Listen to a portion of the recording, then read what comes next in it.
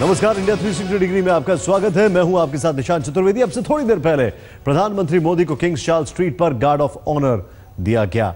इस समय प्रधानमंत्री 10 डाउनिंग स्ट्रीट पर हैं।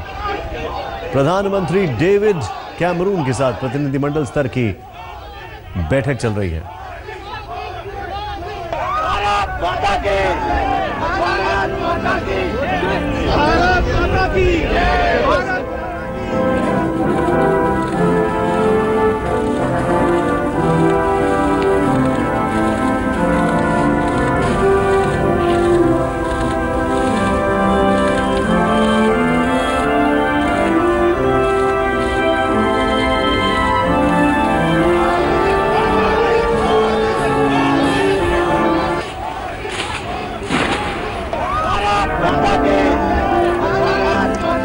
अपनी तीन दिवसीय यात्रा पर लंदन पहुँचे प्रधानमंत्री नरेंद्र मोदी के उत्साह में वही नारे लग रहे थे जो अमेरिका, कनाडा और दूसरे देशों में पहुँचने पर लगे थे। प्रधानमंत्री मोदी जब वहाँ से सेंट थॉमस होटल पहुँचे तो वहाँ उनकी एक झलक पाने के लिए उनके समर्थक मौजूद थे।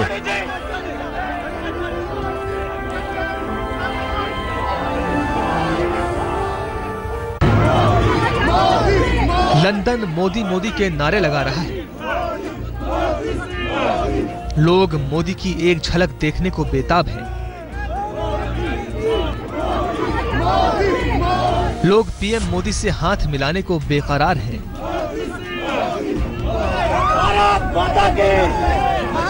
तीन दिनों की यात्रा पर लंदन पहुँचे मोदी का जादू वहाँ रह रहे प्रवासी भारतीयों पर सिर चढ़कर बोल रहा है भारत माता की भारत माता की पीएम के स्वागत के लिए लोग जेम्स कोर्ट स्थित उस होटल के बाहर घंटों पहले पहुँच गए थे, जहाँ मोदी को ठहराया गया है। इससे पहले लंदन के हीथ्रो एयरपोर्ट पहुँचने पर प्रधानमंत्री नरेंद्र मोदी का भव्य स्वागत किया गया। भारतीय प्रधानमंत्री का स्वागत करने ह्यूगो स्वयर, प्रीति पटेल और जेम्स बेवन मौजूद थे। जानकारी के मुताबिक इस दौरे में दोनों देशों के बीच व्यापार और रक्षा क्षेत्र में सहयोग बढ़ाने पर करार हो सकता है। यही नहीं, पीएम के इस दौरे में अंडरवर्ल्ड माफिया दाऊद इब्राहिम पर शिकंजा कसने की भी तैयारी है। सूत्रों के मुताबिक, यूके को दाऊद की संपत्तियों से जुड़ा डोजियर भारत सौंपेगा। एनएसए अजित डोवाल ब्रिटिश अधिकारियों को डोजियर सौंपेंगे। सूत्रों के मुताबिक, यूके में दाऊद की करीब डेढ़ हज़ार करोड़ की संपत्ति है। ब्रिटिश सरकार से भारत इन्हें सील करने की मांग करेगा। बाकायदा ब्रिटिश गवर्नमेंट को यहाँ पर लिस्ट सौंपी जा रही है। कौन कौन सी वो प्रॉपर्टीज़ है जो दाऊद ने यहाँ पर खरीदी है? बहुत लंबी चौड़ी प्रॉपर्टी है जिसमें पोर्टलैंड हाउस सबसे महत्वपूर्ण बताया जा रहा है एल्डम एस्टन पार्क में। इसके अलावा भी अ, कैसे कैसे पैसा मिनाज इन्वेस्टमेंट जैसी कंपनियों के ज़रिए आया था और एक पूरी सूची दी गई है जिसमें जितने भी प्रॉपर्टीज़ दाऊद के यहाँ पर आइडेंटिफाई किए गए हैं वो बाकायदा इस डॉसिया में सौंपे जा रहे हैं। पीएम का कल भी काफ़ी व्यस्त कार्यक्रम है। इसमें सबसे अहम है ब्रिटेन की महारानी के साथ लंच। लेकिन इससे भी ज़्यादा अहम होगा वेम्बली स्टेडियम में भारतीय मूल के लोगों के बीच उनका संबोधन। इस कार्यक्रम में करीब सत्तर हज़ार लोगों के जुटने का अनुमान है। दौरे के आखिरी दिन शनिवार को वो अंबेडकर हाउस जाएँगे। लंदन में मौजूद अंबेडकर हाउस वो जगह है जहाँ आज़ादी से पहले डॉक्टर भीमराव अंबेडकर रहा करते थे। महाराष्ट्र सरकार ने इस घर को 30 करोड़ रुपए में खरीदा है। लंदन से लवीना टंडन स्मिता शर्मा और अंजना ओम कश्यप के साथ आज तक ब्यूरो। पीएम मोदी के लंदन दौरे को लेकर भारतीय समुदाय में ज़बरदस्त जोश है। पीएम के स्वागत में ब्रिटेन में रहने वाले भारतीय समुदाय के लोगों ने एक वीडियो जारी किया है। Welcome, Prime Minister Modi. We're so pleased you've come to visit. you will see how important our relationship is with India. There are more than one and a half million people of Indian origin in the United Kingdom. people from all walks of life who shape the country this is today.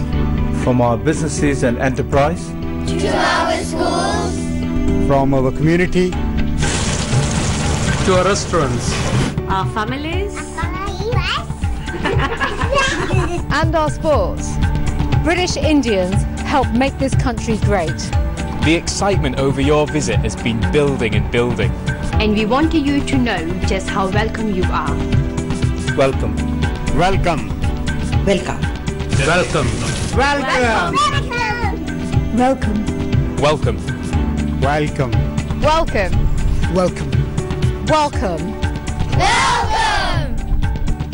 Welcome, Prime Minister Modi.